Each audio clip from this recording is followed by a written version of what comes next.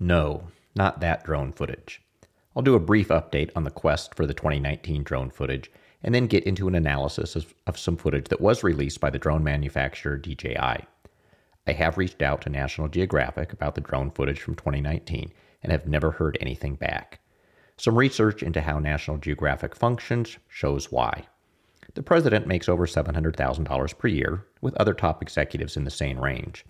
This level of compensation is not unusual for an organization of that size, but looking through their financials, it is just the tip of the iceberg. If there is strong interest, I will do a video on the full analysis of National Geographic's public tax returns, but with a little work, you can see for yourself what has happened. They are not interested in science, they are not interested in history, and they certainly are not interested in the small amount of money our little community could raise to pay for the footage. It is unfortunate to see what a once great organization has turned into, but it is all there in their tax return, and I'll link to it in the description. On more positive news, we do have some really interesting video released from DJI, the Chinese drone company, when a drone was flown from the summit of Mount Everest. It is odd that a private, for profit, partially state owned Chinese company releases its drone footage on the internet, while an American nonprofit organization that claims to, quote, use the power of science, exploration, education, and storytelling to illuminate and protect the wonder of the world, keeps their drone footage secret going on four years now. But I guess they are indeed protecting the wonder because we are all wondering why they can't simply release the footage like Mark Synnott said they would in his book. As for the DJI footage, I'll link to it in the description, but it really shows how new technology can be used to understand old problems. Most of the footage is of the south side route, and there was heavy snow when the video from the summit was taken. But I will break down and analyze this still from the video and see what it can tell us about both the 1924 British and 1960 Chinese climbs. On the south side, we have the South Summit and the Hillary Step, at least what is left of it. The Hillary Step was sort of knocked down a little in the 2015 earthquake and now is more of a snow slope rather than a the steep cliff that Hillary wedged himself between the ice and the rock and shimmied up in 1953.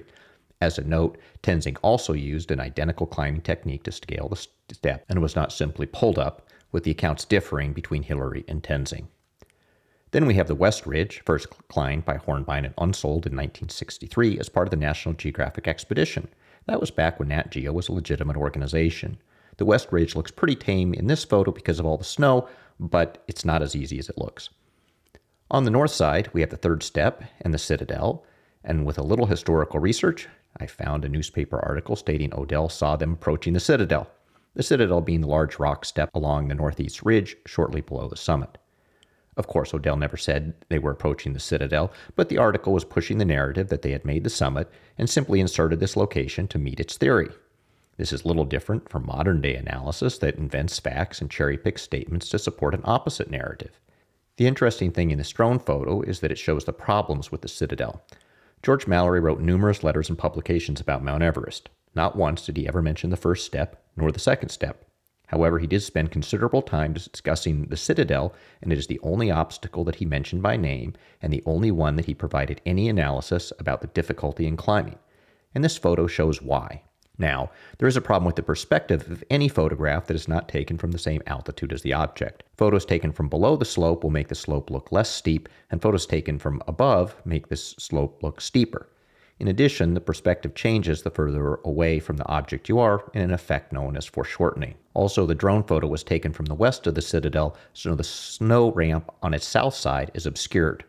This is the citadel from below, and the perspective makes it look fairly simple to climb, the reality is something between this photo and the drone photo.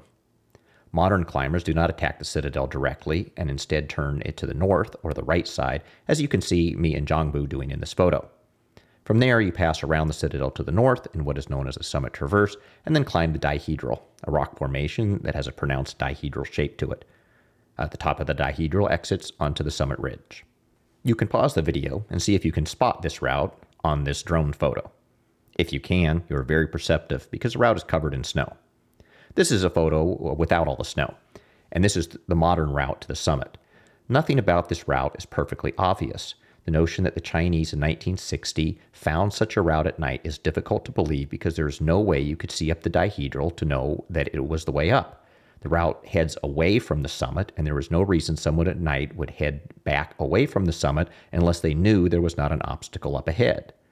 To solve this problem, the Chinese provided two different route descriptions, one with them turning the citadel to the north, and the other that seems to say they climbed it directly.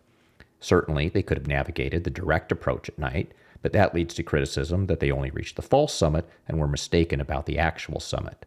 And while you can reach the summit from the third step through a variety of routes, other than those two, the other routes are extremely difficult and likely could not be discovered at night. In contrast, this photo was taken on June 8, 1924 at sunset. For those new to the channel, Mallory and Irvine headed out the morning of June 8th and were last seen by Odell at 12:50 p.m., which is about 6 hours prior to this picture being taken. The clouds that had been present in the afternoon, which some people characterize as a massive storm, had long since dissipated, and the late afternoon and evening had calm winds and a clear sky, as is evident from the lack of a summit plume in this photo. No matter which theory you believe in, Mallory and Irvine are somewhere in this photo perhaps already dead, perhaps struggling for life.